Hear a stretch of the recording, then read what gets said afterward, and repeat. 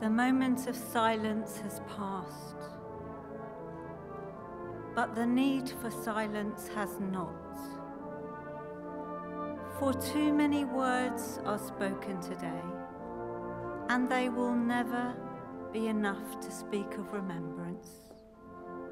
This can only be done in silence, for only silence has enough wounds and adequate time to speak the names and tell the stories and relive the memories of what war and conflict do to our humanity.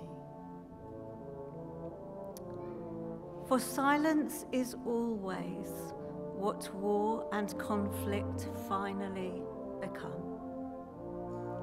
Silenced by the greater silence of those who finally believe never again.